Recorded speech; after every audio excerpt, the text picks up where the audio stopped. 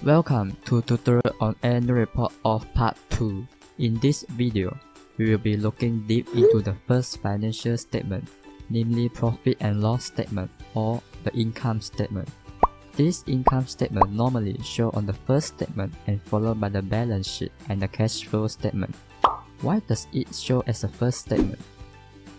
What is the most important things in doing a business or company? A company will undergo bankruptcy if there is no income to sustain their business. That is why a good company will try to expand their business in order to generate more income for them to sustain their company. An income statement is so important that it shows the overall profitability of a company. This income statement also helps us investors to analyze and determine the efficiency of the business in translating the expenses into revenues. This income statement also shows us the ability of a company in generating earnings in the long term. There is some important information shown on the income statement. Let us go through the example to understand more. Let's see the company Tesla. Revenue of Tesla comes from selling the electric car which is the main source of income. The automotive sector contributes around 81% to the revenue.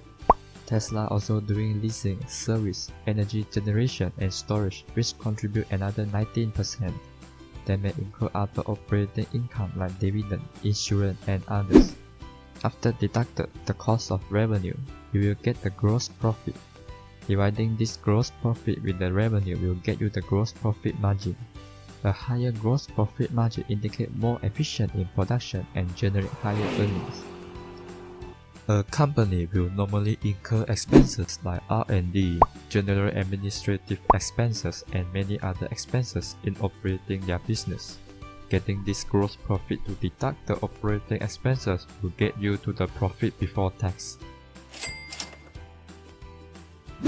After deducting all the taxes will give you the net income. This net profit is the true money generated by the business. Dividing this net income with the revenue also gives you the net profit margin. Higher profit margin is more favorable compared to the company that has lower profit margin. Showing here is the two company with the same revenue but with different profit margin. This company with higher profit margin are able to keep more profit into the shareholders' pocket. With higher net income, a company can either give a higher dividend pay ratio or use the money to grow their business. This is the same as the snowball effect. The management roll the money to grow bigger and bigger. Understand the income statement will help you become a better investor. Read and analyze each of the statement and this will get you an image on the operation of the business. Next, we will be guiding you on the balance sheet. Stay tuned for the end report of part 3. Subscribe to us for more investing and trading knowledge so you can be success earlier. See you next time.